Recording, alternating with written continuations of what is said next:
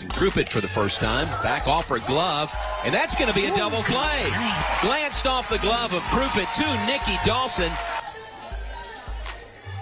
The pitch to Hartwell. This is line to Nikki Dawson. To first, a double play.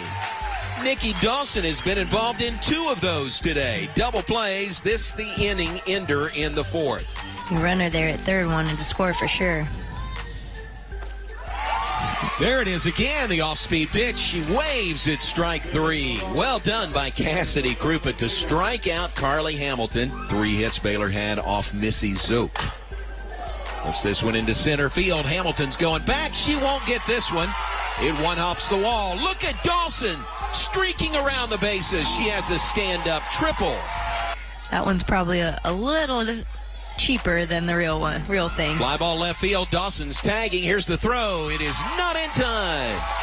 First run of the game comes home on the sacrifice fly by Lou Gilbert. McGlon, the runner at first for Baylor. One out in the inning. Fly ball deep left field. That's gone. It's a home run by Kassidy Krupit. Right, different Bears. Fly ball left field. Going back is O'Neill. Oh, she makes the catch in front of the left field wall with 19 home runs on the year. There's a liner down the right field line that'll get two runs home. Watson to second base.